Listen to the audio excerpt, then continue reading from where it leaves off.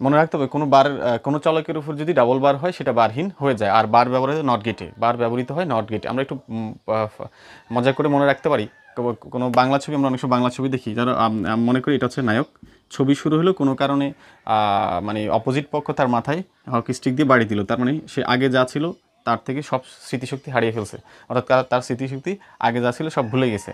আবার প্রায় ছবি শেষ শেষ শেষ মুহূর্তে আবারও কোনো কারণে তার মাথায় আরেকটা বাড়ি দিল। তার মানে আবার সে, সে- মানে সেন্স ফিরে আসলো। তার মানে মনে রাখতে হবে, এ ডাবল বার ইকুয়াল এ। অর্থাৎ কোনো চলকের উপরে যদি ডাবল বার থাকে, সেটা বারহীন হয়ে যায়।